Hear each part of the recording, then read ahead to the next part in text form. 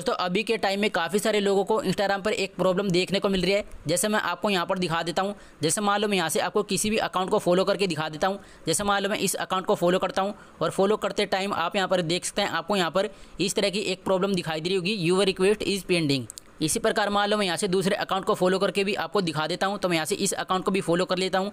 तो आप यहाँ पर देख सकते हैं, अब भी आपको यहाँ पर इस तरह की एक प्रॉब्लम दिखाई दे रही होगी। अगर आपको भी इस तरह की प्रॉब्लम दिखाई दे रही है तो आज की इस वीडियो में मैं आपको बताऊँगा कि ये जो प्रॉब्लम है वो क्यों आ रही है और आप इस प्रॉब्लम को सोल्व कैसे करेंगे। तो दोस्तों इंस्टाग्राम में एक नया फीचर है, जिसे अगर आप उसको ऑन कर देंगे तो उसके बाद जब भी कोई आपको फॉलो करने की कोशिश करेगा तो उसको इस तरह की प्रॉब्लम शो होगी योर रिक्वेस्ट इज़ पेंडिंग तो आप जिस भी अकाउंट को फॉलो कर रहे हैं तो उन्होंने इस फीचर को ऑन किया हुआ है, जिसकी वजह से आपको इस तरह की प्रॉब्लम दिखाई दे रही है। लेकिन मान लो अगर आपको हर किसी के अकाउंट में इस तरह की प्रॉब्लम दिखाई दे रही है तो फिर आप इस प्रॉब्लम को कैसे सोल्व करेंगे? तो आज की इस वीडियो में मैं आपको यही बताऊँगा। जैसे मान लो मैं यहाँ पर किसी के अकाउंट को सर्च करके भी आपको दिखा देता हूँ। जैसे मान लो मैं यहाँ पर किसी का भी नाम सर्च कर लेता हूँ, और इसके बाद मैं यहाँ से अकाउंट वाले ऑप्शन पर क्लिक करता हूँ, और अकाउंट वाले ऑप्शन पर क्लिक करने के बाद अब मैं यहाँ से आपको किसी भी अकाउंट को फॉलो करके दिखा देता हूँ। जैसे मान लो मैं इस अकाउंट को फॉलो करके दिखा देता हूँ कि जो अकाउंट है फॉलो हो रहा है या फिर नहीं। तो आप यहाँ पर देख सकते हैं कि सर्च करने के बाद भी मैं किसी के अकाउंट को फॉलो नहीं कर पा रहा हूँ। मुझे इस तरह की प्रॉब्लम दिखाई दे रही है। यूर रिक्वेस्ट इज़ पेंडिंग तो इस प्रॉब्लम को आप कैसे सोल्व करेंगे? तो आज की इस वीडियो में मैं आपको यही बताऊँगा। तो सबसे पहले बात करते हैं कि वो कौन सा फीचर है जिसको अगर आप ऑन कर देते हैं, उसके बाद जब भी कोई आपके अकाउंट को फॉलो करने की कोशिश करेगा तो उसको इस तरह की प्रॉब्लम शो होगी। यूर रिक्वेस्ट इज़ पेंडिंग तो इसके लिए आपको क्या करना है? यहाँ से आपको प्रोफ़ाइल आइकन वाले ऑप्शन पर क्लिक कर देना है। इस पर क्लिक करने के बाद यहाँ पर आपको राइट टॉप कॉर्नर में थ्री लाइन दिखाई देगी। यहाँ से आपको थ्री लाइन पर क्लिक कर देना है। थ्री लाइन पे क्लिक करने के बाद आपके सामने इस तरह का पेज ओपन जाएगा। इसके बाद आपको नीचे की तरफ़ जाना है।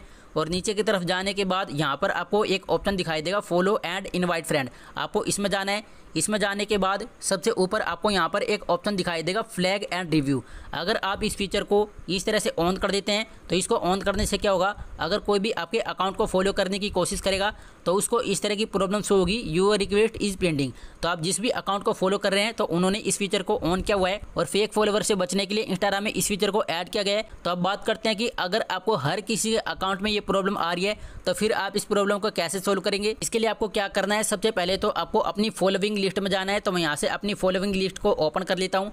फॉलोइंग लिस्ट को ओपन करने के बाद अब आपको क्या करना है? आपको ध्यान से देख लेना है। फॉलोइंग लिस्ट को ओपन करने के बाद आपने जितने भी लोगों को इंस्टाग्राम पर फॉलो किया होगा तो यहाँ पर आपको अपनी फॉलोइंग लिस्ट देखने को मिल जाएगी। अब आपको क्या करना है? आपने यहाँ पर जितने भी लोगों को फॉलो किया है तो इन सभी को आपको अनफॉलो कर देना है। मतलब आपको अपनी फॉलोइंग लिस्ट को कम करना है।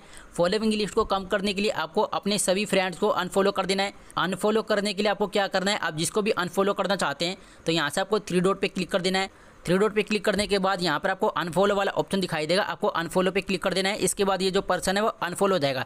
इसी तरह से आपको अपनी फॉलोइंग लिस्ट को कम कर लेना है और आपको एक घंटे में पचास से ज़्यादा लोगों को अनफॉलो नहीं करना है। अगर आप एक घंटे में पचास से ज़्यादा लोगों को अनफॉलो कर लेते हैं तो उसके बाद आपके इंस्टाग्राम अकाउंट में इस तरह की प्रॉब्लम शो होगी। ट्राई अगेन लेटर तो इसलिए आपको एक घंटे में पचास से ज़्यादा लोगों को अनफॉलो नहीं करना है। तो धीरे धीरे आपको अपनी फॉलोइंग लिस्ट को कम कर लेना है और जब आपकी फॉलोइंग लिस्ट कम हो जाएगी तो उसके 24 से 48 घंटे के बाद आपकी जो प्रॉब्लम है वो ऑटोमेटिक सोल्व हो जाएगी। लेकिन मान लो अगर आपकी फॉलोइंग लिस्ट ऑलरेडी कम है और फिर भी आपको इस तरह की प्रॉब्लम हो रही है तो फिर आपको क्या करना है? फिर आपको प्ले स्टोर में जाना है। प्ले स्टोर में जाने के बाद यहाँ पर आपको सर्च करना है इंस्टाग्राम और इंस्टाग्राम सर्च करने के बाद सबसे पहले आपको यहाँ से ये चेक कर लेना है कि आपके जो इंस्टाग्राम का ऐप है वो अपडेट है या नहीं। अगर आपके इंस्टाग्राम का ऐप अपडेट नहीं है, यहाँ पर आपको अपडेट वाला ऑप्शन छो रहा है तो आपको अपने इंस्टाग्राम के ऐप को अपडेट कर लेना है। लेकिन मान लो अगर आपके जो इंस्टाग्राम का ऐप है, वो ऑलरेडी अपडेट है, यहाँ पर आपको अपडेट वाला ऑप्शन शो नहीं हो रहा है तो फिर आपको क्या करना है, वो भी मैं आपको बता देता हूँ। आपको अपनी इंस्टाग्राम की ऐप पे लॉन्ग प्रेस करना है। इसके बाद यहाँ पर आपको ऐप इन्फो वाला ऑप्शन दिखाई देगा। यहाँ से आपको ऐप इन्फो में जाना है। ऐप इन्फो पे जैसे आप क्लिक करेंगे तो आपके सामने इस तरह का इंटरफेस ओपन हो जाएगा और यहाँ पर आपको एक ऑप्शन दिखाई देगा स्टोरेज यूजेज इस वाले ऑप्शन पे आपको क्लिक कर देना है। इस पर क्लिक करने के बाद यहाँ पर आपको दो ऑप्शन दिखाई देंगे क्लियर डाटा और क्लियर कैसे तो इन दोनों को आपको क्लियर कर देना है। इन दोनों को क्लियर करने के बाद आपकी जो प्रॉब्लम है वो हंड्रेड परसेंट सोल्व हो जाएगी। और मान लो अगर बाई चांस फिर भी आपकी प्रॉब्लम सोल्व नहीं हो रही है तो फिर आपको एक लास्ट काम और कर लेना है। आपको जो भी प्रॉब्लम आ रही है, उसकी आपको स्क्रीनशॉट ले लेनी है। इसके बाद आपको क्या करना है? यहाँ से आपको फिर से थ्री लाइन पर क्लिक कर देना है। थ्री लाइन पे क्लिक करने के बाद आपके सामने इस तरह का इंटरफेस ओपन जाएगा। इसके बाद आपको नीचे की तरफ़ जाना है। और नीचे की तरफ़ जाने के बाद यहाँ पर आपको हेल्प वाला ऑप्शन दिखाई देगा। यहाँ से आपको हेल्प वाले ऑप्शन पे क्लिक कर देना है। और हेल्प वाले ऑप्शन पर क्लिक करने के बाद सबसे ऊपर आपको यहाँ पर एक ऑप्शन दिखाई देगा रिपोर्ट ए प्रॉब्लम इस वाले ऑप्शन पर आपको टैप कर देना है। इस वाले ऑप्शन पर टैप करने के बाद यहाँ पर लिखा हुआ है रिपोर्ट प्रॉब्लम इस पर आपको क्लिक कर देना है। इस पर क्लिक करने के बाद यहाँ पर लिखा हुआ है इंक्लूड एंड कंटिन्यू तो यहाँ से आपको इंक्लूड एंड कंटिन्यू पे क्लिक कर देना है। और जैसे आप इस पर क्लिक करेंगे तो आपके सामने इस तरह का पेज ओपन हो जाएगा। तो अब आपको क्या करना है? आपको जो भी प्रॉब्लम आ रही है तो उसके बारे में आपको यहाँ पर टाइप कर देना है। जैसे आपको यहाँ पर टाइप कर देना है, please solve the my problem. इतना आपको टाइप कर देना है। इसके बाद आपको क्या करना है? आपको जो प्रॉब्लम आ रही है तो उसकी स्क्रीनशॉट को आपको यहाँ पर अपलोड करना है। अपलोड करने के लिए यहाँ पर आपको अपलोड वाला ऑप्शन दिखाई देगा। आपको अपलोड पे क्लिक कर देना है। इस पर क्लिक करने के बाद आपकी गैलरी ओपन जाएगी। तो आपको उस स्क्रीन को यहाँ पर इस तरह से अपलोड कर देना है। और इसके बाद सबसे ऊपर आपको यहाँ पर सेंट वाला ऑप्शन दिखाई देगा।